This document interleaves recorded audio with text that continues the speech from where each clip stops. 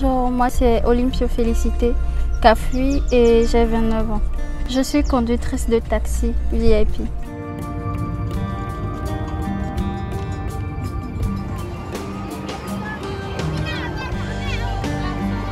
C'est passionnant parce que tout le temps, la plupart des clients sont étonnés qu'on soit des femmes d'abord qui conduisent et du coup, ça change de, de l'habitude en fait.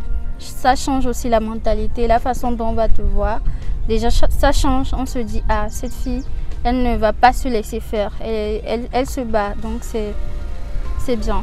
En tout cas, c'est bien pour moi.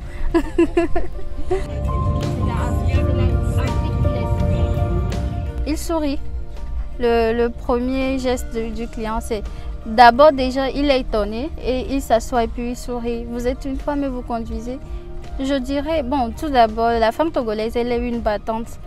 Mais jusque dans ce domaine de taxi, euh, il n'y a pas assez de femmes.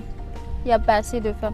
Je dirais à toutes les femmes qui veulent l'attendre ou bien à toutes les femmes africaines, togolaises, partout dans le monde. Si tu as envie de faire quelque chose, vas-y, fais-le. Essaie quand même. Fais le premier pas.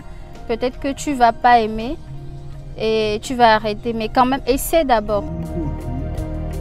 第一。